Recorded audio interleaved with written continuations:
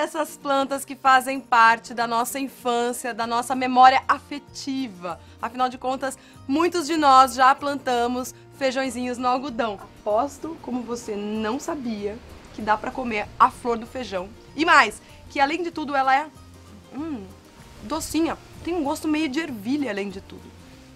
Não só a flor do feijão é comestível, mas também a do pepino. Uh, mini pepininho.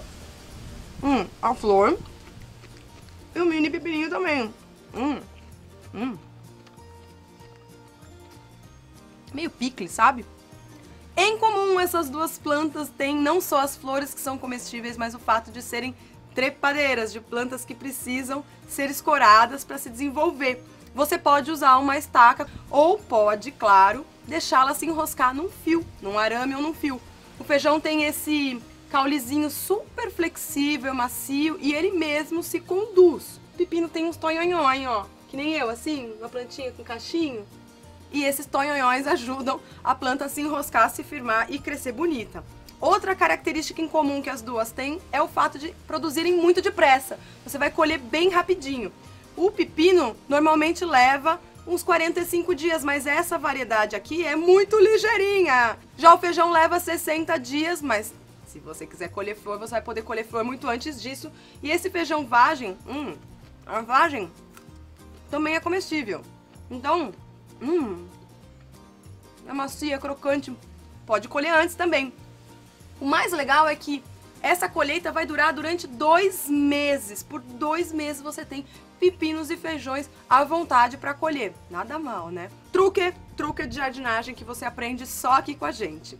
Para o feijão, você precisa que o vaso tenha um pouco mais de nitrogênio. O feijão é bastante exigente com nitrogênio no solo. Ele tem nas raízes algumas bactérias que fixam nitrogênio, que ajudam a planta a se desenvolver. É deixar o solo com esterco de galinha, composto orgânico, humus de minhoca, todos esses ingredientes que têm bastante nitrogênio vão ajudar ele a crescer vitaminado.